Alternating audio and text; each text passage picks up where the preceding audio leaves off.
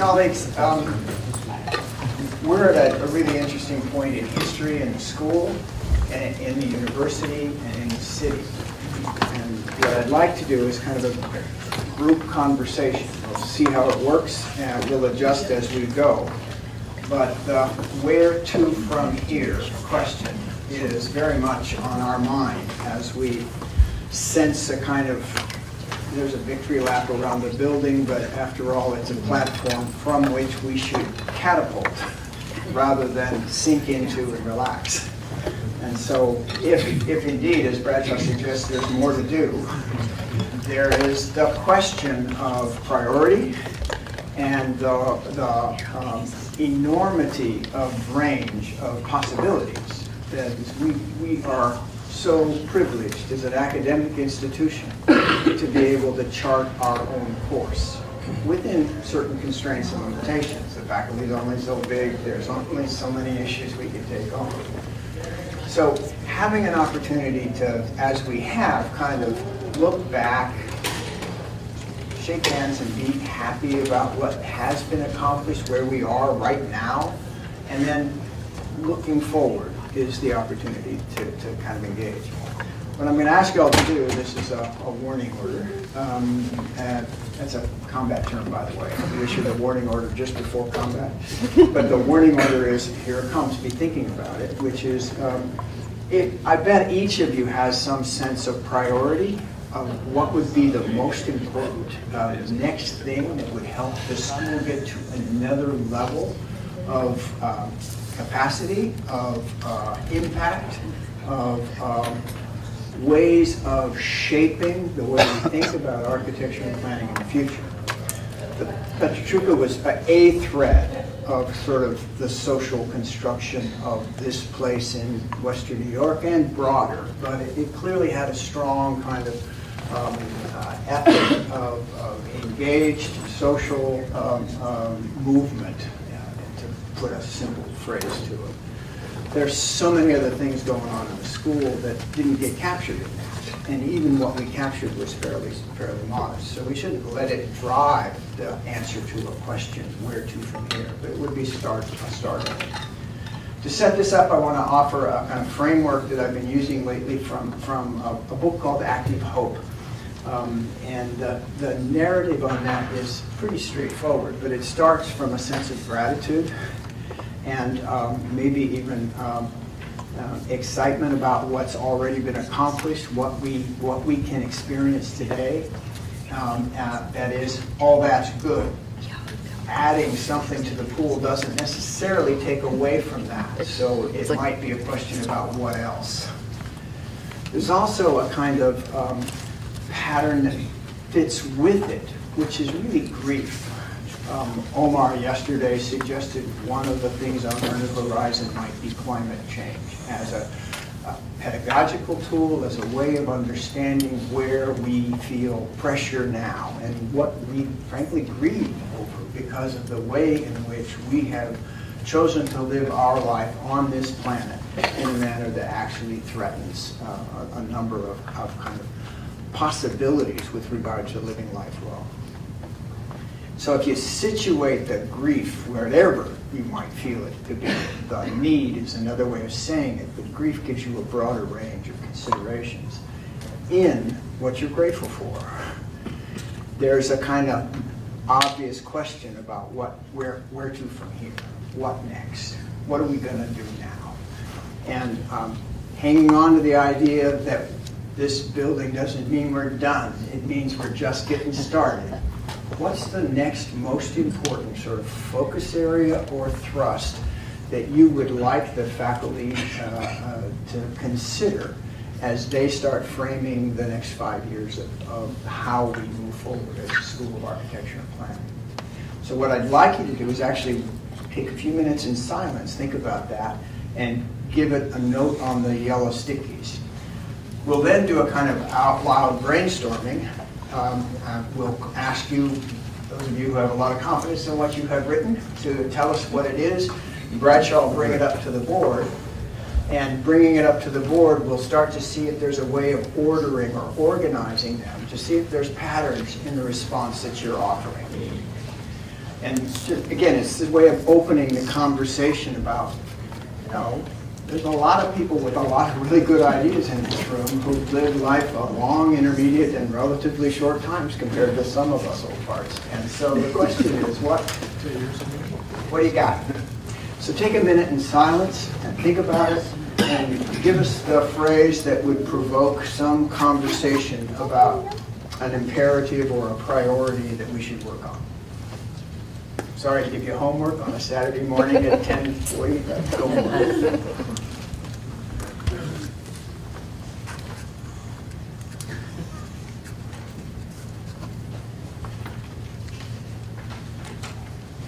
it. If you find yourself into the second paragraph, stop.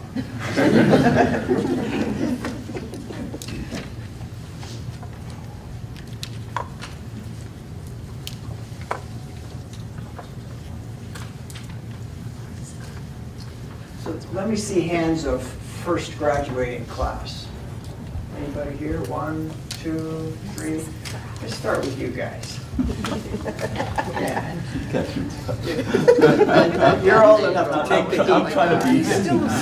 He's still asleep? He's he's not, he's not asleep. Well, I just, I just put some, some catchphrases here on what I thought. things You, should you be made a looked at. list, you didn't give me a high priority?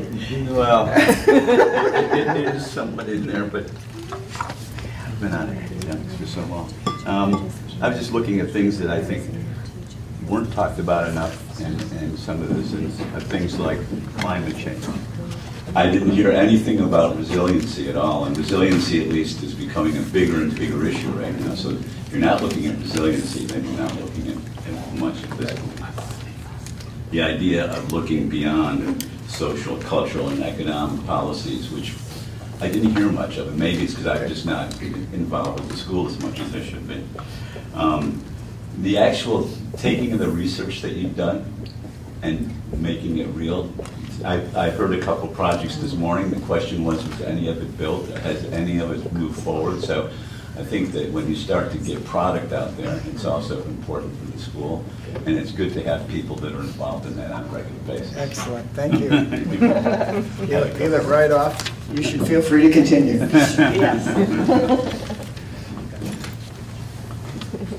Thank you, Bob. These are more observations, and one is the automobile.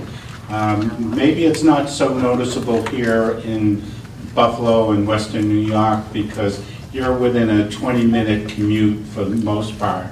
But if you travel at most other places, you'll find that gridlock is just a significant issue. It's big-time issue.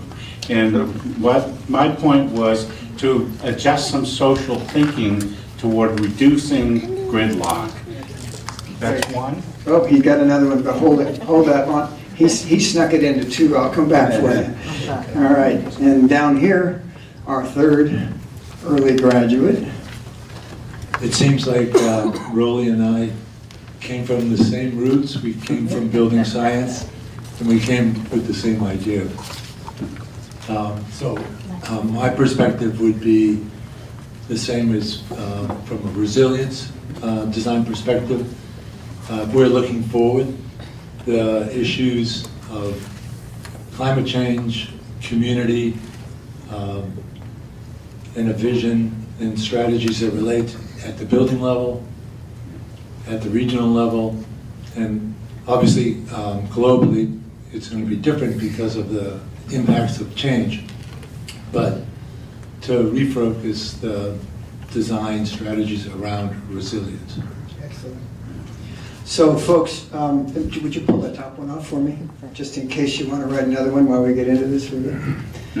So at some level, um, if we just take these three and going back to those early origins, origins, um, uh, an observation I want to make about the automobile is worth it. Uh, About five months ago, I was in Detroit with uh, eight colleagues from the university, where we sat down with Bill Ford uh, at the Rouge plant. You got an image sitting here in a plant that makes cars, right, and makes trucks. And you look for acres and acres and acres at what they think is a green campus, right? You know, grass on the roofs, stuff, hiding other things. We listened to him for a full day present things from his futurists, things from his plant managers and engineers, things from his marketing team and so forth. And we heard this manufacturer who builds cars for a living and trucks for a living say, we can't do that anymore. What are you gonna do, Bill? I don't know. But, and then he starts to describe the driverless car, the, the fact that that's not gonna solve the problem, because if you go to gridlock, it's still cars on the street. Maybe fewer, maybe easier parking, maybe lots of things, but ultimately, given the way we are urbanizing, it's a failed strategy. So here he is with one business plan, which is make more faster and make more money on each one, and says, that plan is broken. I need a new business plan. And we talked about how that metaphorically is like so many other things going on in our world. So he's bringing his team to Buffalo this fall and um, going to spend some time with us because he really liked the way we had described how this community is organizing around the idea of resilience going to the other side because both of those are part of the same formula. That if you stop putting carbon in the air, if you start looking at electric cars, if you start looking at those as transition strategies to something else, how does a car, a, a car manufacturing business strategy become a kind of urban development strategy? And how does a car manufacturing company become something that he's starting to call more and more, and you see it in their ads, a mobility company? And is it really more about getting the stuff to folks or getting folks to the stuff? Or what's the balance and what's the stuff? So all really good starts. Now you you got a comment, I got to come around, or maybe get the mic to it, and that will do it. I was not addressing strictly the transportation, but also the social issues of, we have people in one spot that drives to here, and then the people in this spot that are driving there because of the, the work environment. There may be social ways that we can reduce the need for transportation. Got it. Perfect. Excellent. Thank you. We just recently concluded a mobile safety net study uh, over several years in 12 communities that describes the ability for our communities to get to the services or have services brought to them related to the mobile safety net. And what you find out is that, of course, transportation is the biggest issue because of where their service outlets are located.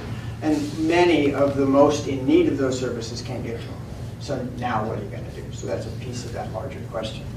I want to go to anybody who graduated in the 70s. Raise your hands for me. I'm going to come around and pick up your sheets. You want to tell me about it? Tell me, oh, good for you, I like this. You like Talk, this? Talk, talk, talk. Uh, Having spent most of my life living in Big Bad New York City, I now live in northwest Montana.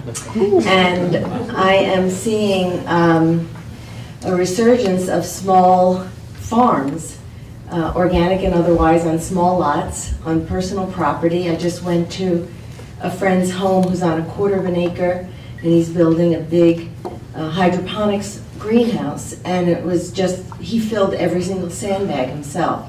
And I, I think this is a great thing for urban cities, um, as long as the cities let you do it.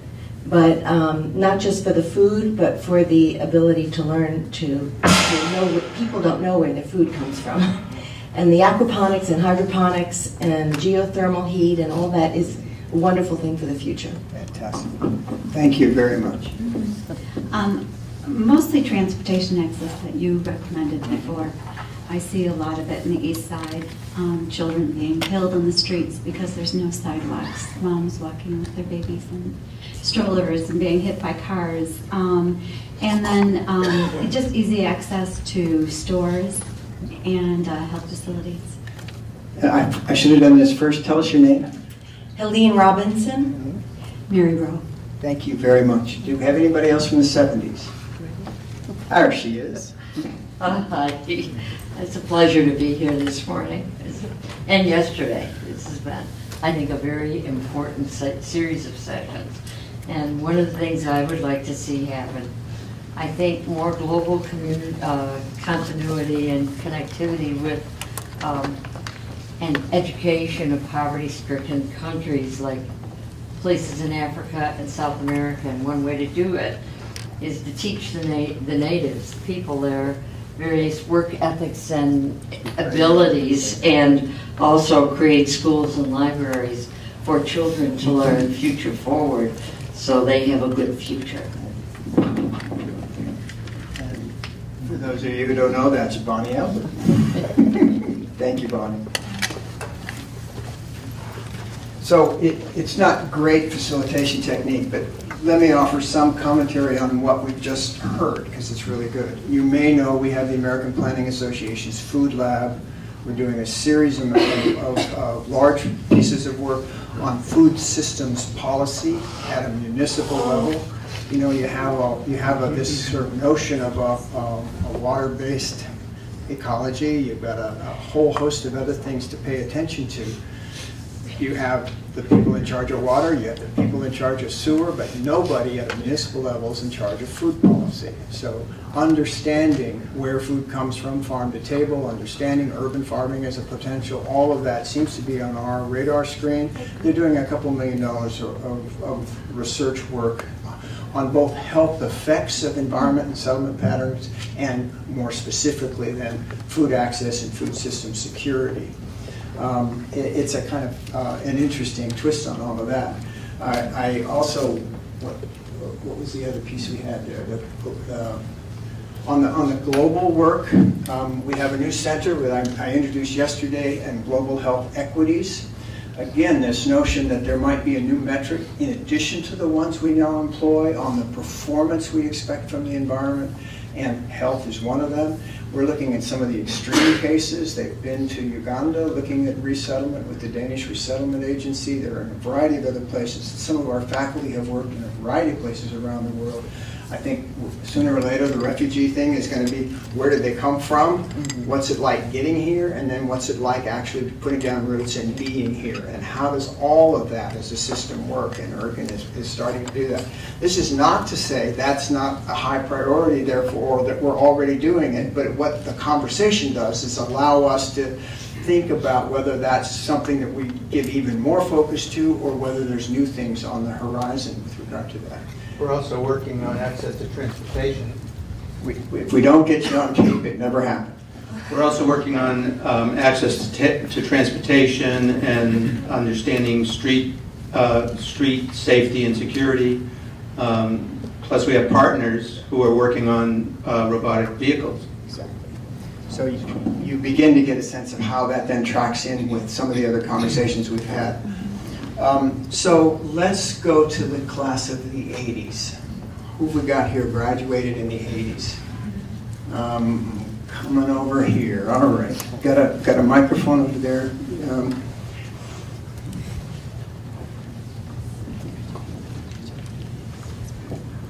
And then stay, stay to pick up the sticky, Corey. So um, I put down um, continue projects that address reality and social justice. Um, I'm thinking physical forms that challenge road social order. And I'm thinking also addressing issues, that some of which have already been mentioned, like climate change, affordable housing. Excellent, thank you very much. Who else from the 80s? Give me a hand. There's one here, Chris, and back here. Um, No, here. Okay. Go. Um, I, you know, one of the, one of the things that this school has done well is, is community engagement. And, um, it- you know, what I've heard here makes me, continues to make me proud to, to have, be a product of, of this program. Um, I would say, uh, continue and enhance the community engagement in Western New York, and, and a, a more concrete piece of that um, could be from, from a, a uh, graduate of a different program at UB, um, would, would be, uh, that includes collaboration with other professional disciplines uh, to improve the quality of, of life in Western New York. Terrific, thank you. Um, Again, uh, just a note of where we are and where we need to go. It's affirming where we are. There are new programs in collaboration across the campus. I think you may have heard me speak of some of this um, uh, yesterday or today. But that, those programs that deal with community health equity are cross-disciplinary programs. There's 11 deans in the mix on that study investigations going to climate change and other such things are tied to our Renew Institute Energy, Water, and Environment. That's also funded at a pretty high level to work across as an area of focus. These are new initiatives in the school, so it's not like they're done. It's like they're literally just beginning. And again, I'll go back to the bandwidth with regard to, okay, you're reinforcing, go for it in that mix and on the subject of engagement related to it but um, it, it doesn't give us a, a, new trajectory, but reinforces one that we've already planted some seeds and are starting to see a little growth in. Thank you. Others from the 70s, or 80s, excuse me. I think I, there, there we go, Chris.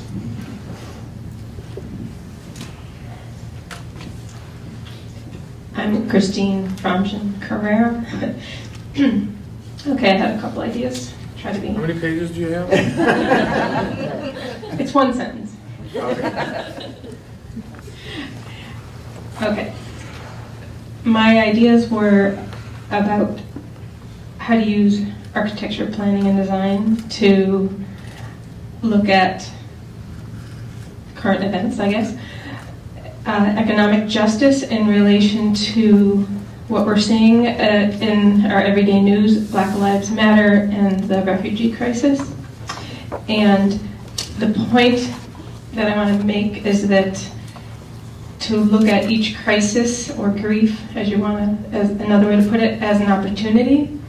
And, and along with that, climate change. I see these as all climate change as an opportunity to address economic injustice through training and education, starting at the level that Beth is working on and the community level and primary school, through um, graduate school and through practice to make programs like Section 3 real and functional so that the underprivileged, the poor, the disenfranchised, the black, people of color, dis disabled, can learn all of these newly, these programs that are gonna, that are required as of October to build our homes and buildings that are tight, that have new energy systems, require ventilation.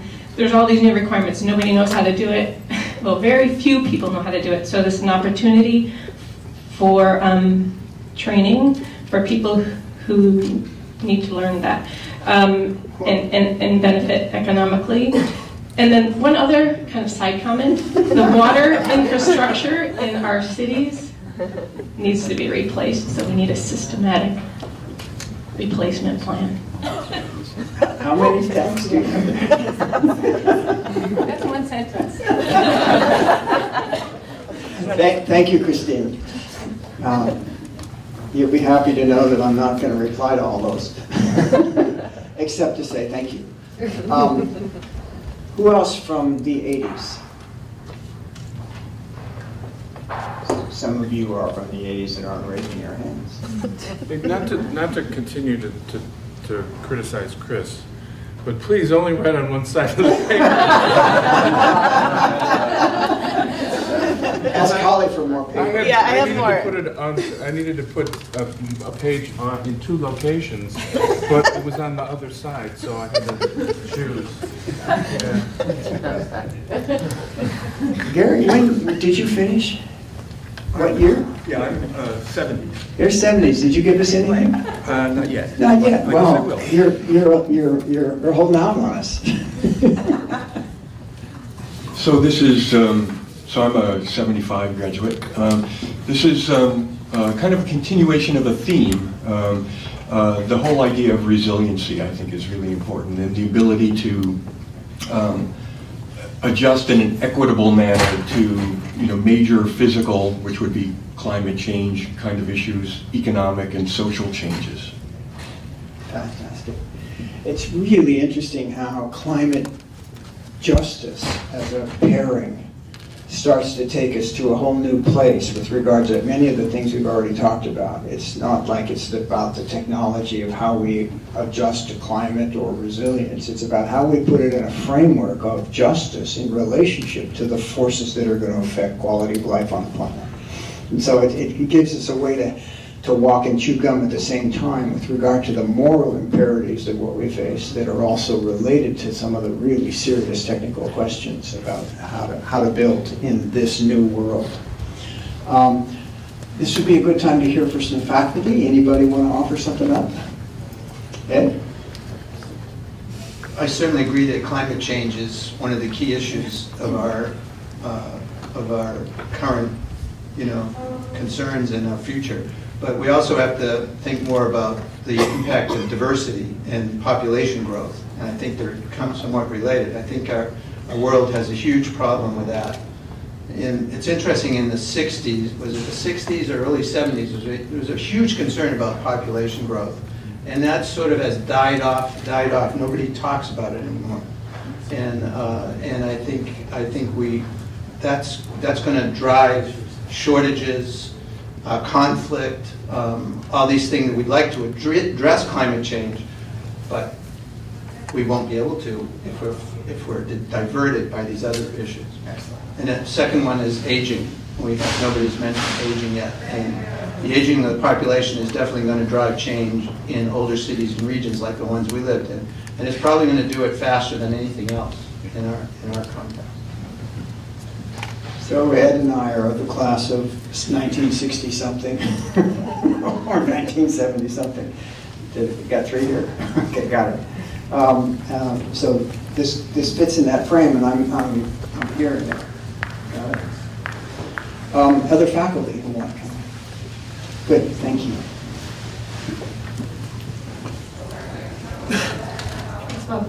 Um, so I have I have three, and two of them are sort of related. One is to think of the school as an incubator of um, practices, of potential new collaborations, and this is really something that we're already doing.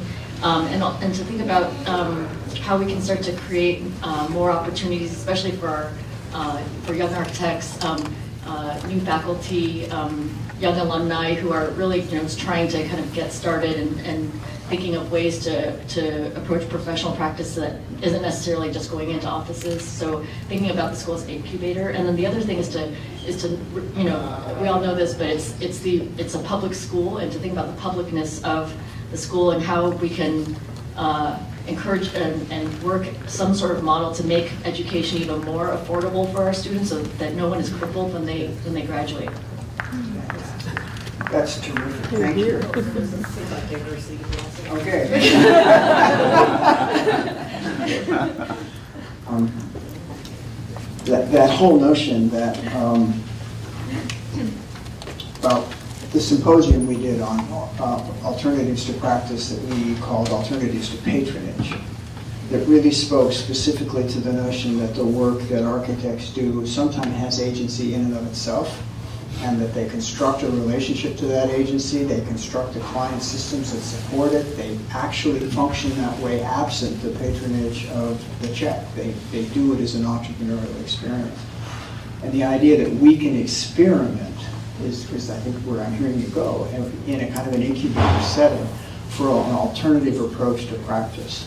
And this runs the gamut from, some would argue, we could test it here, that the in some ways, the current conventions of professional practice are broken.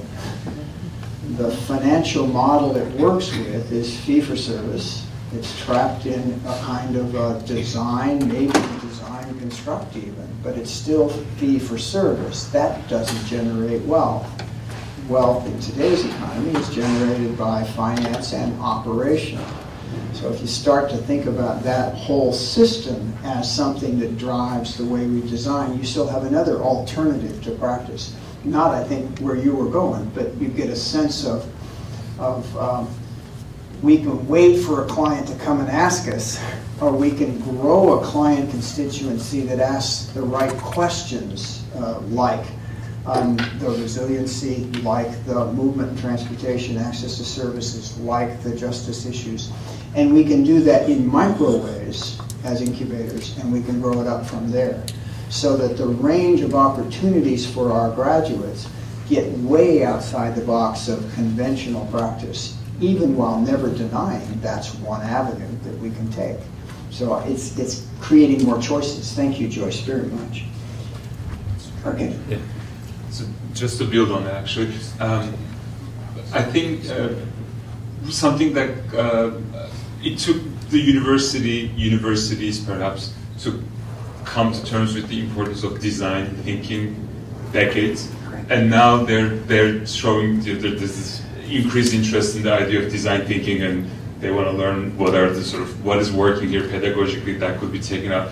The, the, what I want to raise there is though uh, there's almost this kind of increased pressure to uh, kind of uh, think of design thinking as uh, as a way to sort of almost Uh, find quick solutions to problems.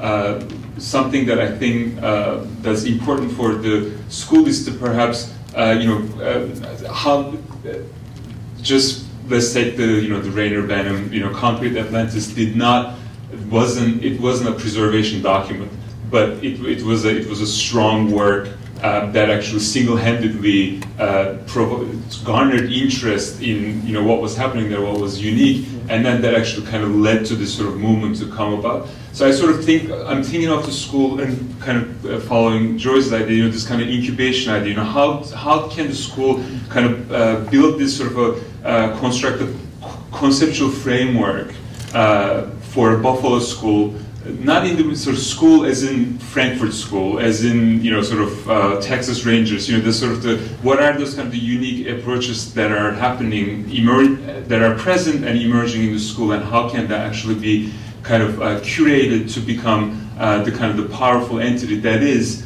Uh, that, that we are aware of but may not be so visible. And I actually think that there's some latent potential there um, that we could actually mine and sort of uh, used to the city's average, uh, sort of uh, to, to the city's benefit um, if you do it carefully. You got that all on one sheet? the headline is Big Problems. Poverty, Sustainability, Just City. Got it. Other faculty want to play? You know what I'm going to say. I can hardly wait. So on the local level, establish the grain elevator district as a hub unique only to Buffalo. Notice I'm no longer asking you to buy one for our school. uh, at the global level, uh, social justice through design research and innovation. And in general, bring delight through design. Yes. I love it. I love it. Thank you, Beth. But applause is good. Don't, don't, don't, don't be timid. Other people in the 80s that we haven't talked to yet. Let's go to some of our students, and I'm going to come back around to the 90s class. She's been, she's been, she's been waving at you now. uh, I just, uh, this is not for us, it's more of like a larger school problem, I would say. Uh, giving low-income students the resources to complete their design education. So uh, sometimes architecture school can be very expensive, and because of that, it's kind of exclusive. Uh, and one of the ways that we can diversify the profession is by allowing diverse populations to, to have support to complete their education. And um, yeah, that's what it was. Thank you. Would you get the mic and bring the tank up?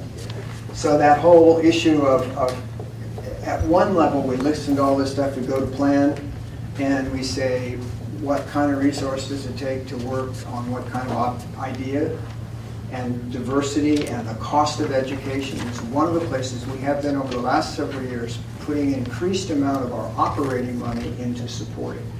We've seen some positive move in our numbers, uh, quite significant relative to the rest of the university and certainly in relationship to the the diversity that participates in our profession. That's both gender and race, and particularly African American.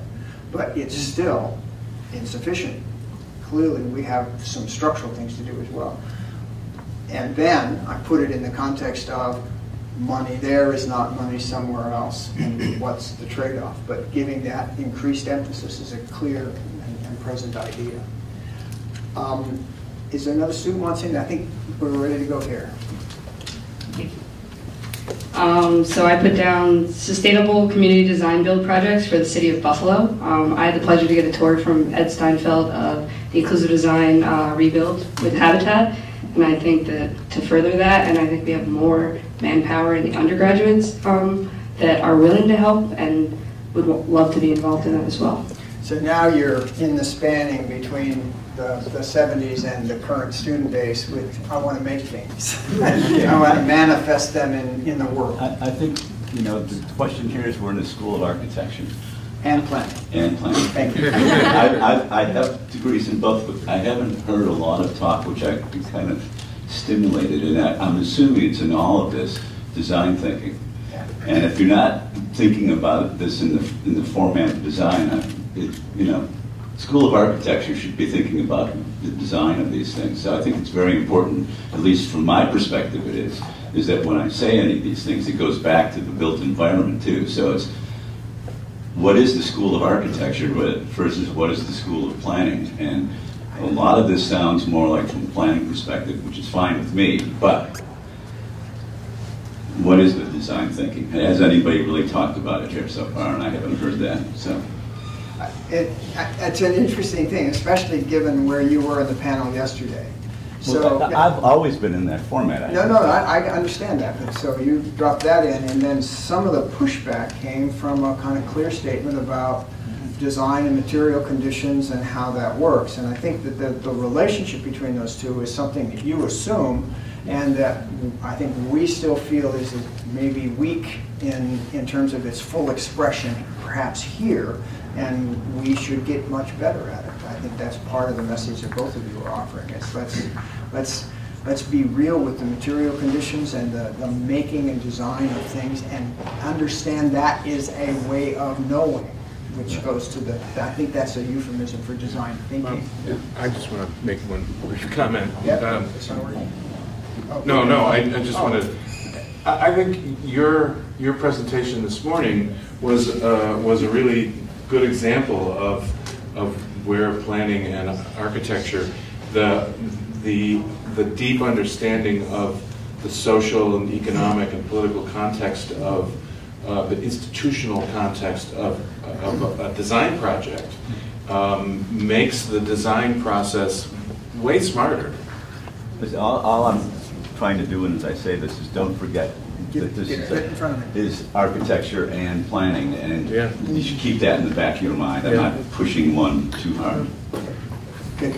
We only- There's only about half of them left out there. Yeah, I'm here, we, we, we did, we have this very young new graduate.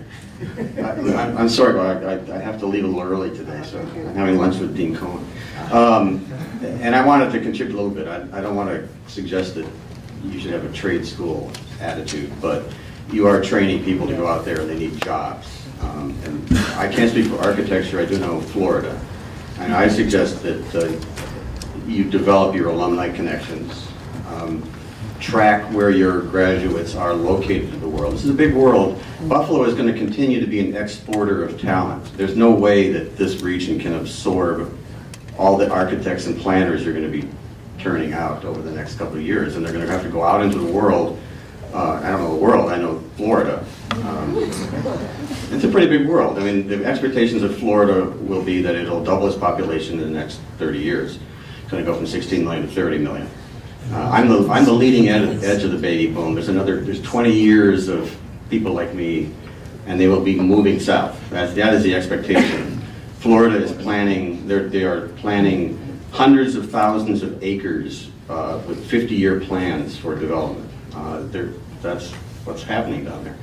Um, there are, there are jobs that will be involved in all that. Um, I would be realistic about where your planners are needed. I mean, Buffalo is probably not the area where you're going to need a lot of planners. Um, and have a global perspective. I mean, my, Florida, South Florida is one of the largest Latin American cities. I mean, basically. And and, it's tied, it's tied economically and culturally to South America and Central America. And there's enormous amounts of back and forth, and, you know, the development of multicultural, if you can speak Spanish, I wish I'd taken it in high school and, uh, and college. Uh, that would, it's a tremendous advantage in, in an area of, of the country that is one of the more dynamic areas. Uh, you, you can talk about how vulgar it is and all that stuff, but that's where people are moving, that's where they will need people who are going to have your education. So I, in the development of alumni relations, uh, you know, where are your folks? I, I, you may have that information, I don't know, but I think that's the sort of thing. I mean, I, I wouldn't, I wouldn't have moved to, been able, well, I would have moved because I had to, but uh, the reason I'm in Florida is because the historic connection between Palm Beach and Buffalo.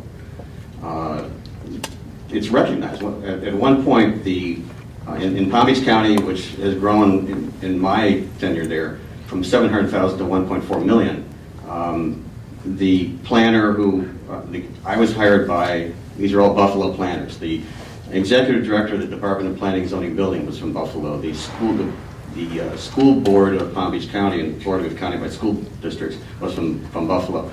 The planner who was from the city of Boca Raton was from Buffalo. The planner for the town of Palm Beach was from Buffalo. Buffalo, Buffalo, Buffalo. It was a big connection culturally. Those 200,000 people that left here went someplace, and there may be something you could discover where you could track that would be useful to you. Thank you.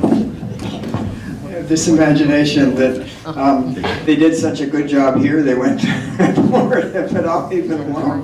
But that- no, it's terrific. Thank you very much. Give our best to Harold, and muchísimas gracias for you. Yeah, great. Excellent. Nick? So, I think one of the things as we reflect back on what's happened in the past is how we keep Buffalo weird. How we keep it weird. How we keep it weird. So there's a phrase in Austin, Texas that says keep Austin weird. And so as you become a successful city, how do you keep some of the things engaged and what have made it an attractive place for folks into the future? So a lot of these grand experiments that were shared this morning, you know, how do we keep the flexibility in the school and keep engaging those new ideas? So um, it's more of a, a thought on that. Um, and then So let- let's, let's pull out of that then the, the the behavioral manifestation that would, would represent. Part of, part of being weird is not knowing what that means. And sort of like, because if you already knew it, then it would probably be something you would normalize over time. But you're actually looking for some form of experimentation or some form of the kind of resistance that Eberhard represented in the early days about, um, you know, architecture's obsolete, that's weird for a school of architecture to profess, but it pushed some things. Is that where you're going with this? It's definitely where I'm going, and I, you know, I think as we move into the future, you know, thinking about what our role is in research, if we try to push and, and compete with some of the other schools like engineering, we lose in a lot of ways there. But if we define what the metrics are and what makes us unique, and really make sure we're bringing something to that table, then we have an even expanded role, you know, into the future. and pushing that. That's terrific. So the whole university has this cross-cut um, kind of attitude about adding value. Together we can do things we can't do by ourselves. And there's a, an open question about whether architecture and planning gets subordinated in that conversation or with design thinking takes a lead in that conversation. And I, I think that's going to be a tension we're going to experience as we go forward uh, because we see a track to serious money and support in some of the research adventures, but it takes the PhD taking us into those funding agencies, whether it's NIH or NSF or the EPA, looking for that PhD credential that you have, but as a force, it's not part of our intellectual tradition in architecture more so in planning, but even there, it's a social science perspective that doesn't get the same respect in those tracks. Chasing the money could cause us to lose our identity. So finding ways to, to take advantage of those cross-disciplinary connections without getting eaten by them eh, is a really key thing. And if that's what you mean by weird, I'm way in. So that, that's great. Corey, you want to take a shot? Thank you. In the spirit of weird, I'm going to give you four points. All on one sheet? they're, they're, they're all on one sheet, Oh. and it's actually an extra small post-it note. I think one of the things that design thinking allows us to do is to put together rather unexpected ideas, find rather hidden concepts that, when assembled, have much greater power than they would by themselves. So, a couple of the things that have been said today and yesterday one conversation around equity, another conversation around innovation. Those are two of the points. To that, I would add the conversation of beauty and aesthetics. And the fourth, muck, from Michaela's uh, conversation yesterday, muck, M-U-C-K. Um, because one of the one of the things that I take away from that conversation is certainly the hard work and tenacity that it takes to be in a place like this, and the hard work and tenacity that I certainly see on a daily basis from faculty, staff, students, and and now certainly alumni. Um, but one of the things that was challenging in one of the conversations yesterday, where many of the research centers were represented, there was a conversation about how do we better leverage across the research centers, not just within those particular silos. And wait. One of the things that was a challenge of that conversation was there what opened up was a dialogue or debate between uh, an aesthetic mindset and a social justice mindset, as if those two have a binary opposition to one another and have to fight over turf. When in fact, you need both to recognize whether or not you've achieved either one. So, adding to the question of equity, the issue of innovation, aesthetics, and muck. Thank you very much. Do, do we, I, I think you picked it up. Yeah, muck, beauty, equity, innovation. Thank you, Corey and Michaela. We have some 1990s decade graduates. There he is. I knew we were going to get you in this mix, Alex. Biting your tongue? Oh, my God. So uh, I wanted to uh, emphasize the issue of alumni networking, connectivity, and capacity. Um, the thing that I'm impressed by coming back here, I've, I've been coming back periodically over the last few years, of course. I've been energized by the by the dialogue, and I've been refreshed by returning after 20 some odd years to the school to see how things have grown and, and you know just the community has expanded and, and, and expanded its reach.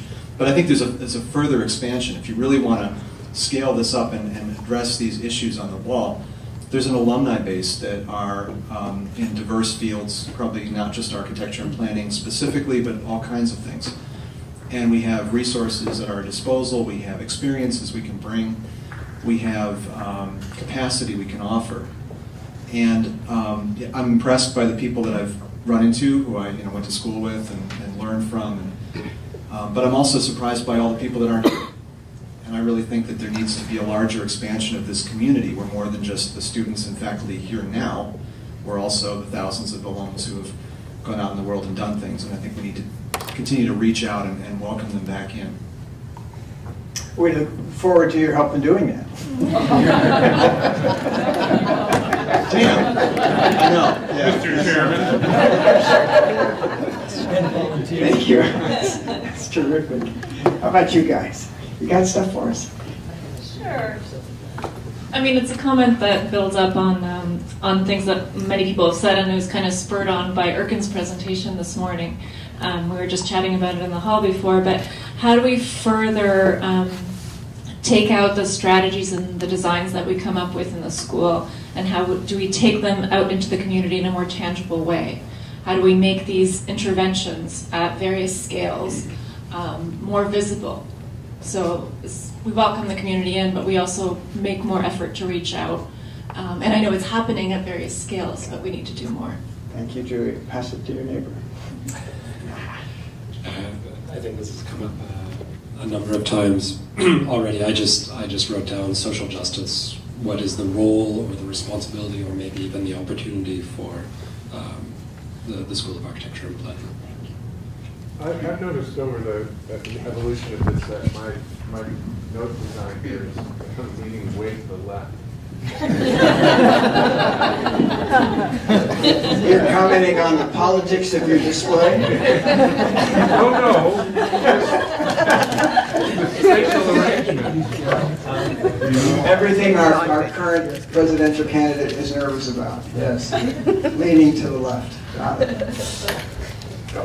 Sure. Um, so I wasn't, I didn't graduate in the 90s. Yeah, I got it. You're free, it's okay. But there has been some, some talk about design uh, thinking, and I just wanted to maybe shift the gears a little bit to design experimentation and, and material experimentation.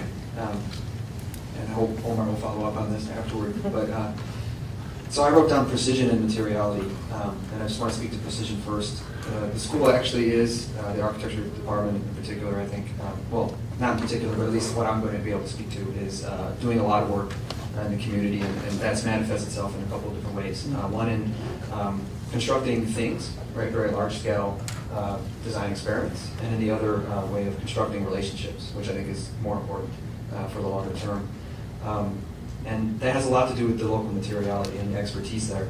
Uh, and again, I want to give uh, Omar a lot of credit for spearheading the, I think that uh, the current uh, scenario that we now have, which is that it's become very easy for us to get on the shop floor with these material manufacturers and um, not only create cool things, but really uh, develop a new knowledge, right? So I think there's a knowledge production that's happening, not only on the scale of the workflow of these, of, the, uh, of these industries, because we have a lot of alum, uh, a lot of graduates who are now working for these companies, um, and bringing a lot of you know new technology, new ideas to those manufacturing processes.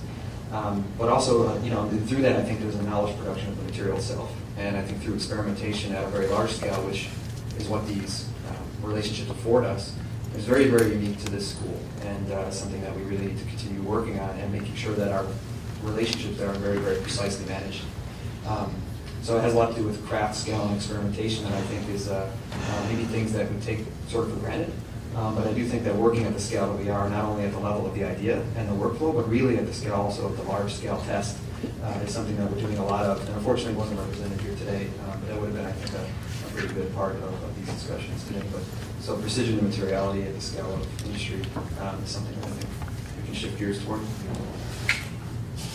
Yeah, thank you very much. It, it impresses me that as you come into the gallery during our open house, that the curation and approach to exhibition brought us the fabrication of the exhibit system we'll live with for some time, an exercise in fairly unique fabrication in ways of thinking about joinery and making something that is that we can be proud of it with the precision that you would ask for. And then on the other side, uh, about two tons of exhibition. yes. that, that, uh, that I got more than one question about. but that is just an extraordinary approach to experimentation and materiality that I think is a part of this, this school's uh, lifeblood these days. And it really, I think, goes all the way back four decades to material thinking and design thinking. Uh, and Omar, you have been a champion of this. You might speak to that, or I don't know that that's what's on your list. Well, it, it, so so I think uh, so. Just picking up, I think we need a new building culture. Uh, I think our our our um, our framework for experimentation, uh, and, and obviously I'm building off of that uh, at the school, but in the past was very much focused on a very solipsistic uh, relationship between materiality uh, and this is where I do think, as, as Corey's maybe talking about, maybe not social justice, but there are there's the globalization question and how actually materials move through that system and how we must engage the, them. So uh, tied to that, I think a new building culture is significantly important to, to talk about on the planning level, uh, on the level of architecture, on the level of industrial uh, manufacturing, and fundamentally on the question of making. Tied to that, I think, is a question of what is a 21st century school. We have a 21st century building, uh, and for me, they are. Uh, it's already up there. Uh, what what it may be, but I think for me, the question of the new, um, the world of new technologies, is, uh, on the one hand, an opportunity, but a, a great challenge. And one of my biggest concerns there is uh, the openness of it and how those opportunities are not very quickly um, brought to a close because of the systems that are being put in place. So uh, Buffalo should also remain an open city. Uh, social justice, smart systems, freedom, the commons, public has to be part of our think, thinking. But I think tied to that is a new building culture uh, that we have to figure out uh, collectively and foster. Thank you. Thank you very much. Ed?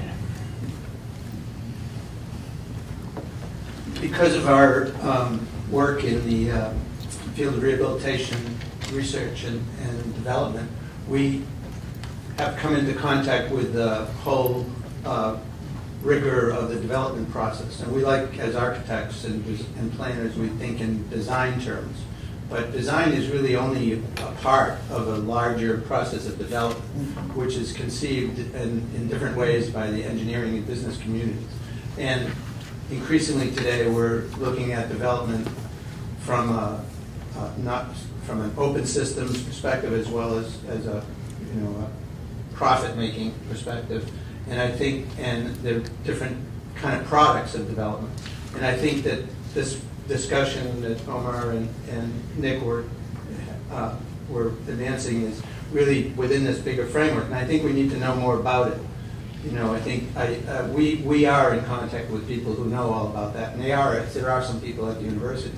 And I think it would be good if we, uh, I mean, to put it in a succinct way, I think the school needs to embrace the rigor of development, the D in R&D. We talk about research, but development is another whole process, and research is related. But if you know anything about product development, only one out of 10 products actually makes it to commercialization and, and use. And why is that? We need to learn more about how to, how to get things to actually have an impact. And there are different kinds of impact. We have to decide what we want to shoot for, too. Thank you.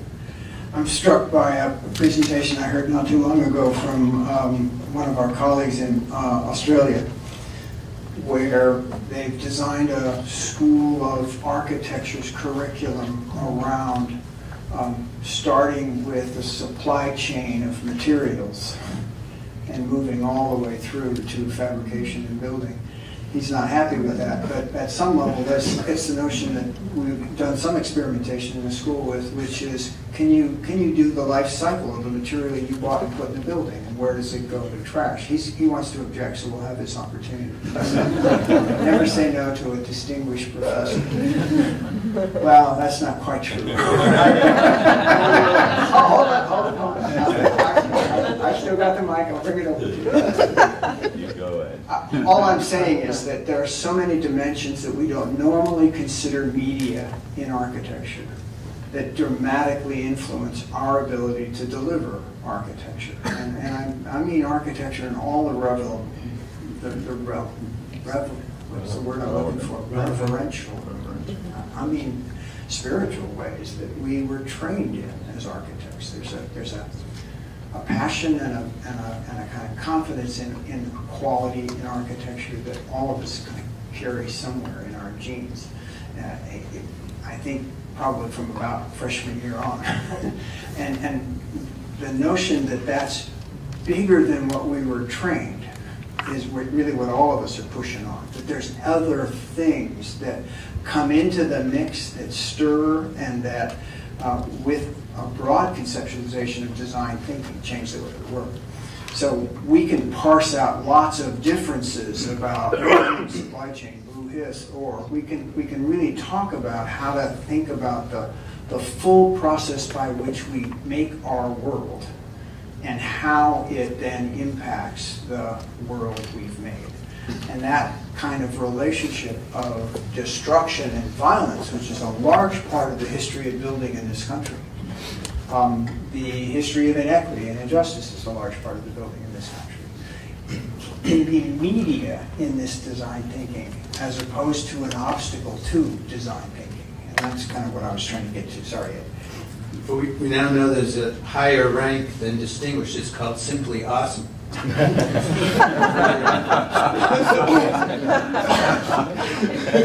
Did you get a badge So, like that? uh, I think it's, there's a, in the development process, the most important thing, is there a need?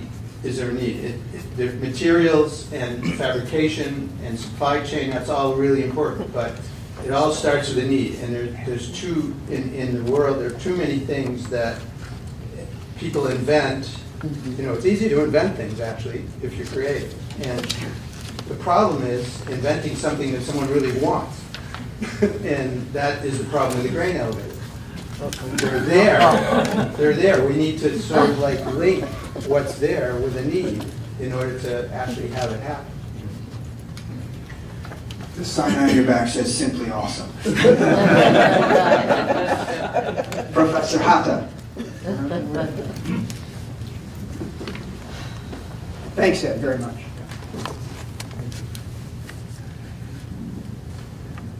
Uh, Yes, um, I would like to chime in, uh, you know, to uh, get this conversation.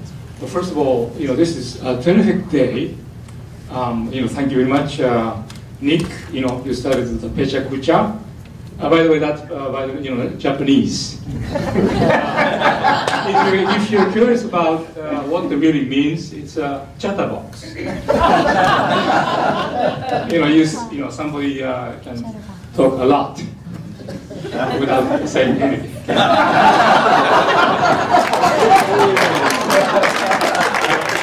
Wonderful tradition, you know, and, and uh, Hero, that may have been the meanest thing you ever said in your whole life.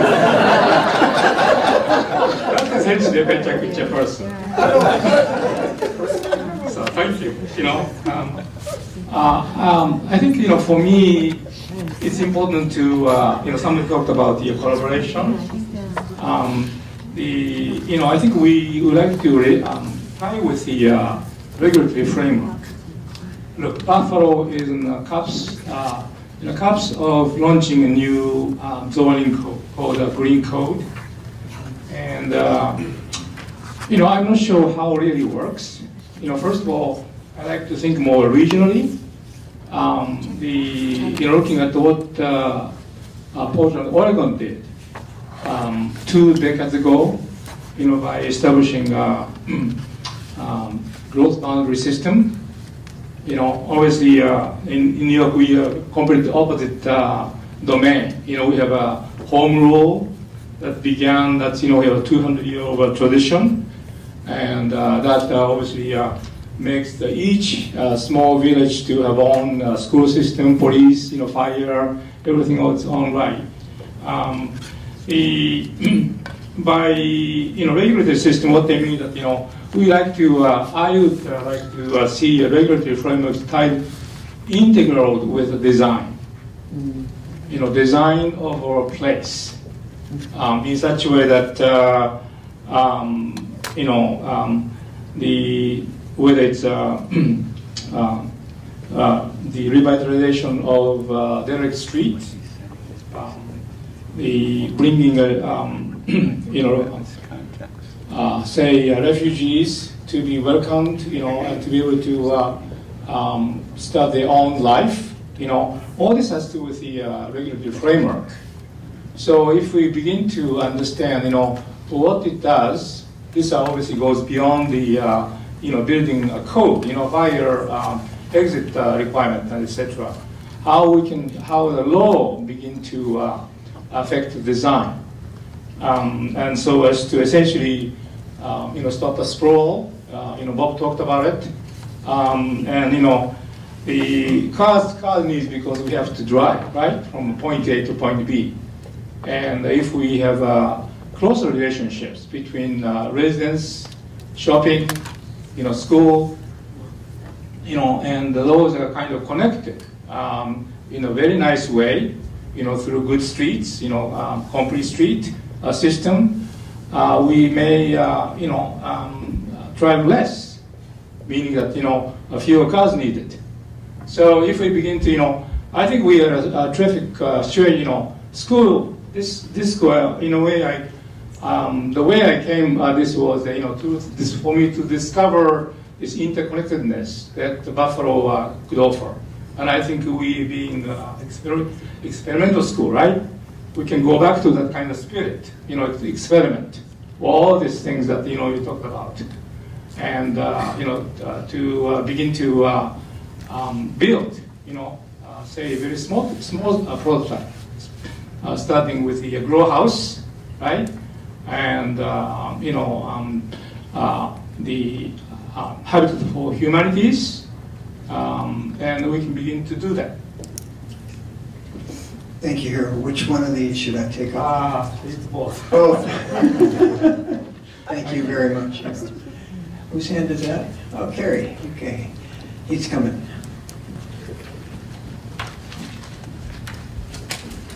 So a a lot of what we talked about this weekend um, were our successes, but we have to recognize the problems that these successes create. And so I think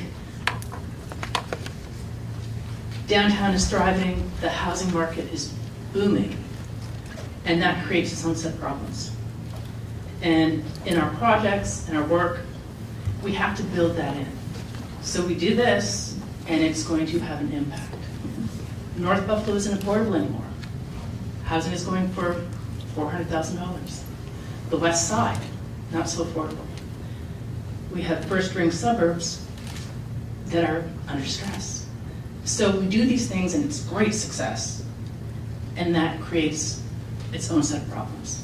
And so we have to build in to our education and to our work, what are the ramifications of what we're going to do five years, 10 years, 20 years down the line.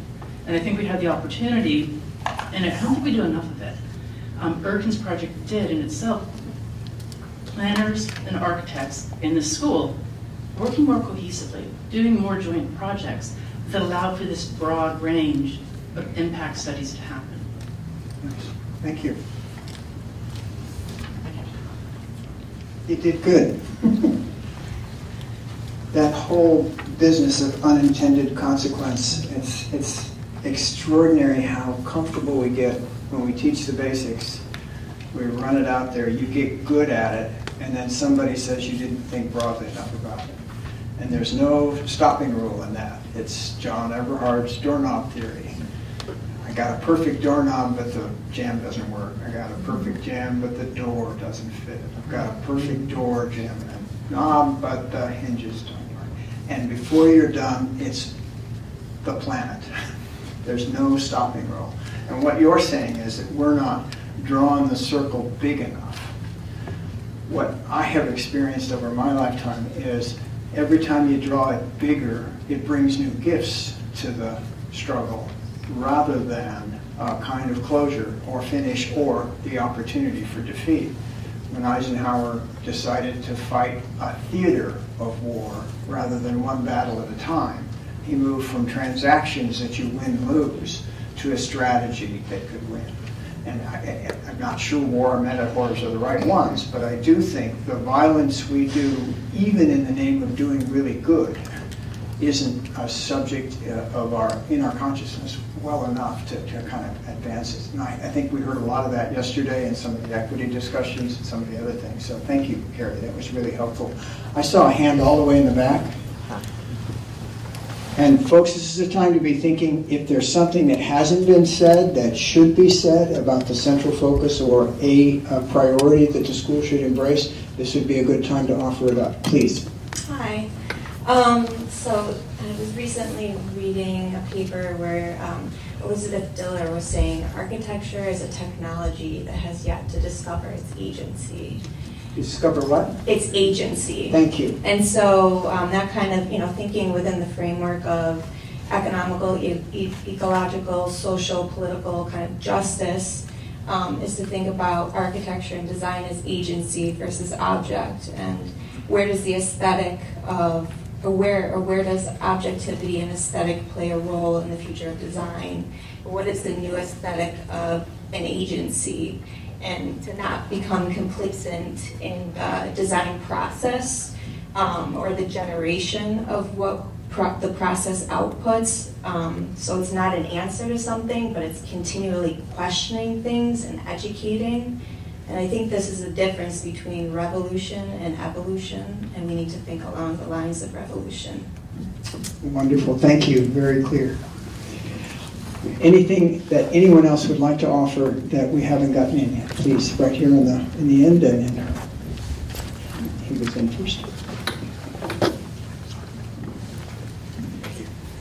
Um, something that the school, I think, has been successful with over its history has been uh, kind of creating these innovative proposals and solutions to a lot of like local issues and actually implementing them, um, whether they be like architectural or like planning oriented. And I think it would be beneficial for the school to start sort of expanding its scope and sort of start to offer these solutions at a larger scale. Um, and I, I, that could just, you know, we, this area we've been in had so many issues, as, as you had mentioned, like when you first came here, and we've, we're, we're sort of uh, in a good place with that locally, and we can of course do more, but I think we can start looking out more and saying, we have this uh, good method of problem solving in a variety of ways, and so now we can offer our skills to these other scales, whether that be state or national or, uh, you know, international. Thank you very much. I, I was enormously proud to read in um, Architect magazine uh, two months ago, I guess it was, a piece on, on uh, teaching architecture in Rust Belt cities. I, I don't love the title for all kinds of reasons, but there it is. It's Detroit, it's Cleveland, uh, where Kent State has a design center, and it's Buffalo. They told the story, they didn't try and canvass everything in legacy cities. There's about 60 such cities like Buffalo. But there was that point in time in the course of that article where they started to look at the full scale of our engagement and say, perhaps better than any other school in America, this school engages this challenge of, of the Rust Belt city and is advancing it. Um, they were also clear in the text of the article that we were local global. So our global health equities and some of these other things were at least alluded to, if not talked about. But the article was specifically looking at whether or not being in a Rust Belt city affects how you teach. My answer is, of course, but we are local global, and how to, how to emphasize that is a big part of it. So that also gets to this out of the bigger frame. Forgive me for the long soliloquy, but at some level, um, I'm, I'm always being impressed with the range we've just talked about, from the most um, deep affection to the detail in making and, and thinking about making and the material experimentation and the opportunities for that and how that can reframe the way you think about very large scale interactions. Um, a robot that delivers just in time ceramic pieces to the job site changes the way you think about possibilities in elevation construction. And suddenly the skin is, uh, uh, is different and dramatically, potentially more performative in terms of all manner of things. Those, that's a, that's a sort of from the detail to the big scale. And uh, finding ways to continue to work across those scales is what I think they teach us in the very beginning years of our field. That's what we think about uh, as the students are working. They're always doing this and thinking that. And reinforcing that is what you're really encouraging, I I think. Are there other folks with new things or new materials? There's somebody with a microphone in the back. Oh, yes, I'm sorry. Forgive me. I apologize. No Thanks. problem. Laverne Peaks uh, MEP class of 2008.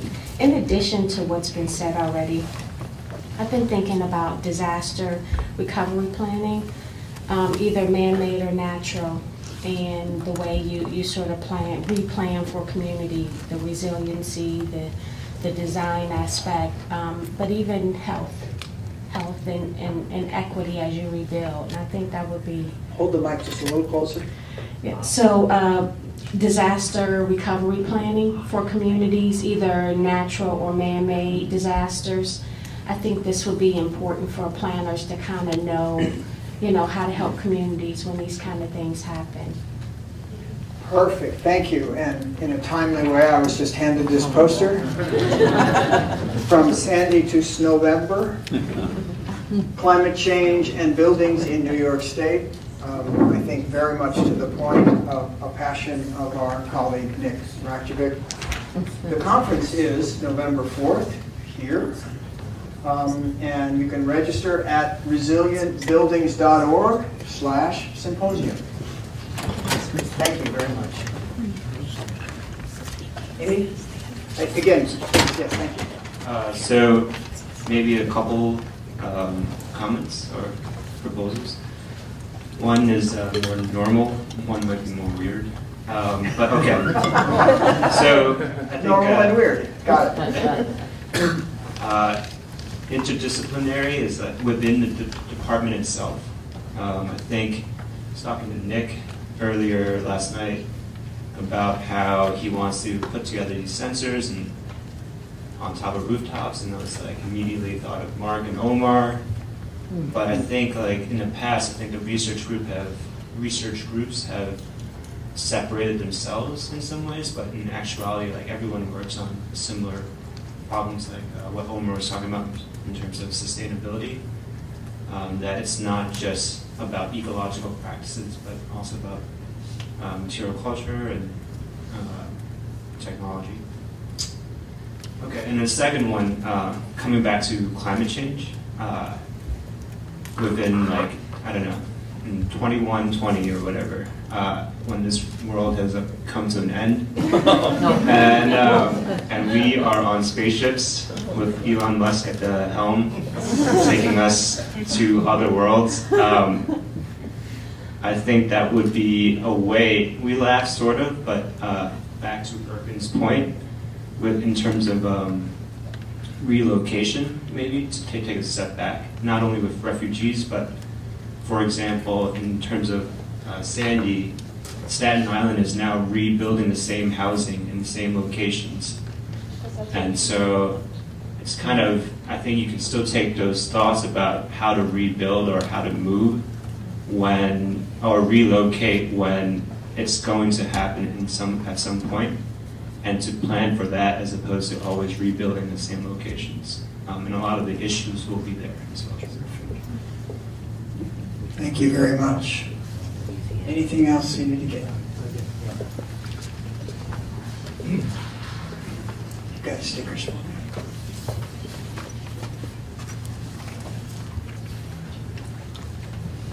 We handed out too much paper.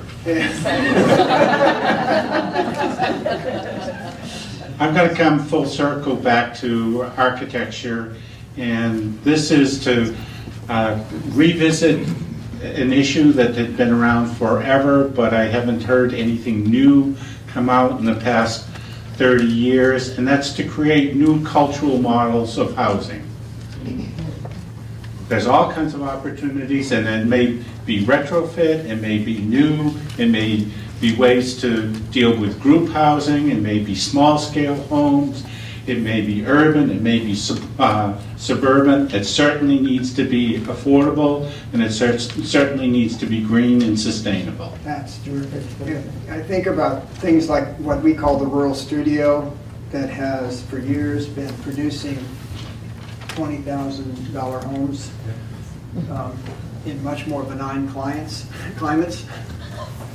Uh, And um, I ask ourselves, if we were to give ourselves a challenge, uh, would there be a price point and a technology and a marriage between the two that would give us uh, increased affordable housing capacity in, in our community? That's both a real detail piece and looking to the scale of work that you're doing with regard to refugee settlements. It's a whole nother dimension of capacity that then plays into some of the work that our global health equities groups are doing in refugee resettlements in places like Uganda. So just run the scale on what's the technology, what's the, what's the recognition of the new social construction of the family or not the family, the change in demographics that we're seeing in, in, in what used to be housing and how many fewer children there are per household and so forth. It changes everything. Certainly, you don't need a dining room anymore. We do not do that. Well, not in my house. Where are you gonna fold the laundry? Yes, Chris, here, take the mic. I just had some thoughts on, um, in kind of in reaction to the weird and um, then back to the normal, and um, kind of relates back to my thesis, which is another whole quagmire. Um, just wanted to br- bring up the whole idea of beauty and of culture and different means of expressing beauty and culture and just uh, historic preservation is one small example, one large example and small example, and innovation and expression, and that there are just so many different ways to manifest beauty and culture. And the, the reason I think it's so important is for me, because every day I walk by the, on my way to work a streetscape that is full of trash. And combating the negativity with beauty and culture, I think we just have to like take over. That's the one. Um, so I wanted to touch on the comment uh, that was previously brought up about this idea of like collaboration, um, but it seems that we keep talking about it from a department point of view. So, say GRGs, for instance. Um, but at the rate that we're expanding as a university as a whole, I feel like we don't take advantage of that opportunity uh, to the extent of interdisciplinary work. So the idea of having a hub um, where we can engage, even from a student standpoint or faculty standpoint, uh, with the bigger environment. So various departments such as engineering or social sciences, um, a place where, or even like a program that's set up where there's an opportunity to come together and share ideas and get other people involved in certain projects. So I think that extent of the idea that, let's say, situated technologies versus ecological practices should be connected, but even on a grander scale, could be connected to various other departments. Um, so how we can bring the university scale back to our programs, because we kind of have confined ourselves, and it seems a territorial um, kind of building, as well as other departments have, um, and how they kind of stick to their own kind of beliefs and practices. Uh, but there's not much of a collaboration between all these departments that we have to our, I guess, extent or advantage uh, that are kind of, uh, I guess, living on campus and thriving on our campus, but as individuals and not as a team. Oh, okay. Go for it. Let me just make a comment as these things are moving forward. Um, the, the university's commitment to what you just outlined is, is, is really interesting with some of the problematics that I offered earlier. But a couple of threads I'm hearing is, is like we have made in architecture the graduate research groups a part of our core pedagogy. So we teach through them a kind of attitude about research and I think design thinking as part of that whole construction. But one of the threads is that we're not connecting the dots across our graduate research groups. The intra-engagement feels like an opportunity we could take better advantage of. That's one of your points. Am I with you there? The other thing that we haven't explored in any depth, but we will this semester or early next semester be inviting into the school a brand new program in the College of Arts and Sciences. It has this amazingly interesting name. We had a chairman of this department who answers to both the Dean of Engineering and the Dean of the College of Arts and Sciences. If I have my way, he'll sooner or later answer to me too. We're not there yet. We're not there yet. But, but you can, here's the name of that thing. It's Materials, Design, and Innovation. And they're looking at the chemistry level of material all the way to and through the design of the stuff. And the stuff expands in as you get more innovative. So I, am just struck by the possibilities that exist. And again, in the world of limit, unlimited resources, every one of the ideas we've just talked about are out there. Let's go get them. but, but which ones, when, and how far do we go is interesting. It's particularly interesting to me that if we're not able to string it together in an intra department or school level, how can we imagine we're going to play in an even bigger level? And when do we lose ourselves in the bigness of it all? So I just keep wrestling back and forth with all of that. We should realize that we're already doing that. That you know, and I students agree. may not Yeah. be aware of it, or Okay. graduates aware of it, but we have at least five um, cross-school interdisciplinary activities. We have the the SMART program, the, the, uh, the 3E program with engineering, uh, public health, and, and architecture and planning. There, there are actually two of those. And then we have, uh, and then there's another 3E program with, which is just sort of like they're winding up, but they really started a lot of interesting things with engineering, architecture, and, uh, what's the other, and uh, nursing and uh, public health. So we actually have a lot going on. Yes. And, uh, and I, I, I would only see that improve, you know, increasing. Exactly. Thank you. Yeah, I, I just wanted to, to add. Thank you. Uh, based on the comment. I'm, a, I'm not an architect, I'm a chemist here at UB. And so this, this idea of being able to integrate and have some cross-disciplinary talk, I think is extremely important at, at UB. But moreover is that we're now, UB is three campuses, and we're going to only expand. And so I think the School of Architecture and Planning has to be like central in this idea of how UB is going to expand. What's the design going to be, and how do we get the three campuses more integrated together? Because I think it's one of the things we feel at North Campus, I'm, I'm sure you feel it here at South Campus and, and the people downtown, is that we all have our little islands of UB, and we do occasionally contact each other, but, but it's not often enough. From your mouth to God's ear. Thank you, sir. Whoever she may be. Go. Um, I'm also not an architect. I'm a civil engineer, but the only reason that I'm here and know about this is because I started in architecture, and I feel like that's a bit of a problem that we don't have that much of a intermingling of different departments, considering in the field, architects and engineers rely heavily on each other, and as well as other all sorts of engineering and other disciplines, the arts, everything. So I think it would be beneficial to the students if there was more of maybe even a class where there was a tandem design project or something along that lines.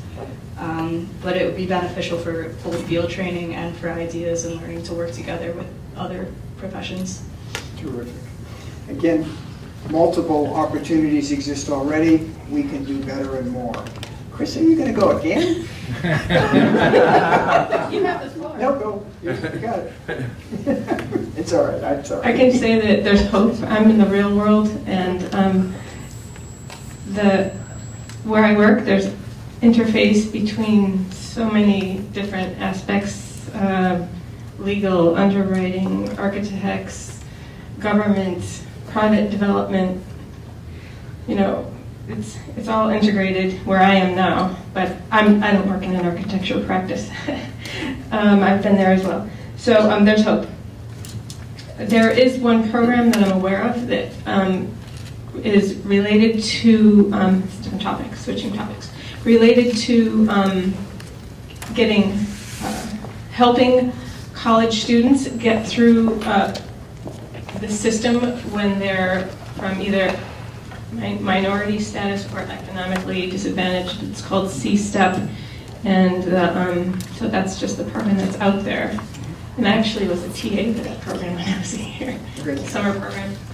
And um, there's a lot of programs out there for integrating um, housing um, and some opportunities with regards to that that are happening now are land banks, zombie properties, historic tax credits, middle income programs, which are incentivizing affordable, uh, that are incentivizing middle income and uh, market rate housing in areas of economic disparity, and the integration of. Um, so those are just some ways out uh, that are integrating uh, economic classes within the, the cities. Thank you, Christine. All right, last one. Um, This is a um, a generalization of sitting here and listening to what everybody is saying. Thank you. Um, And, um, and it goes back to what this gentleman said a while ago about design. I'm hearing an awful lot about problem solving, and yes, problem solving is very important with all the issues we're facing. But I just want to say that um, there needs to be a, the real relevance of architecture There's a lot of bad building out there. There's a lot of builders who are doing architecture.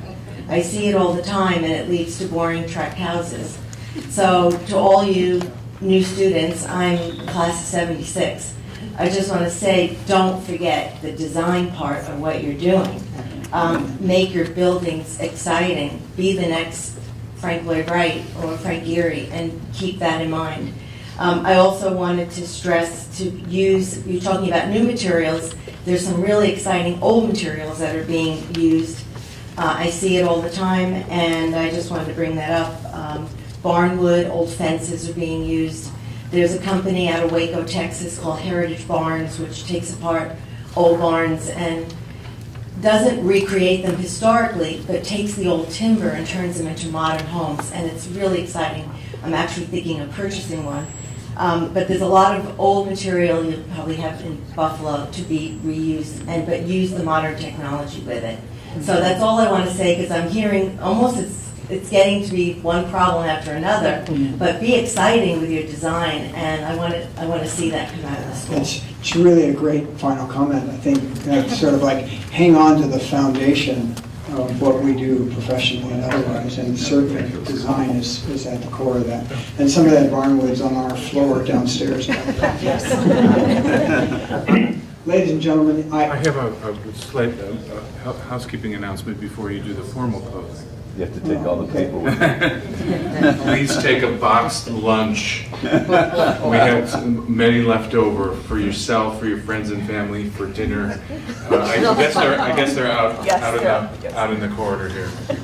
Oh, and I- also, i- if you, if you've got a, a- a note that you haven't gotten up here, I'll hang around and try and, and uh, find a place for them in this uh, galaxy of ideas.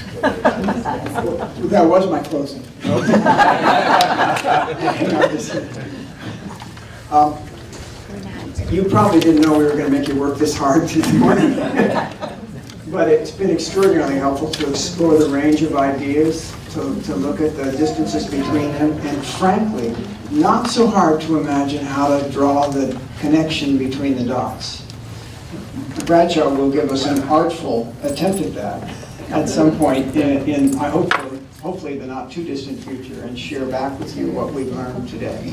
But I do take heart in how much commonality there is when, um, when you can string together the ideas we've heard today and understand them as a kind of aspiration for a school of architecture and planning going forward. So thank you for that. You've sharpened our focus. We have a a slightly better idea of who we should be next. And, um, and it will be a much broader conversation among the people who actually have to deliver it, the faculty and students in our programs going forward. Thank you very, very much, and thanks to the to family that, that sort of uh, catalyzed this conversation and got us into a really good place in the discussion. Thank you for being here.